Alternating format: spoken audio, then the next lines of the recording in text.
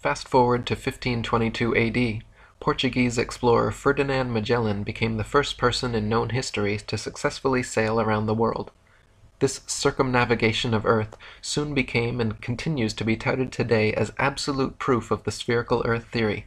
If Magellan was able to sail east to west around the entire world and return to his original starting point, surely the Earth cannot be flat and must be a globe, right? Wrong. Just as a compass can place its center point on a flat piece of paper, trace a circle either way around, and return to its original starting point, so can a ship or plane circumnavigate a flat Earth. The only kind of circumnavigation which could not happen on a flat Earth is north-south bound, which to this day has still never been done.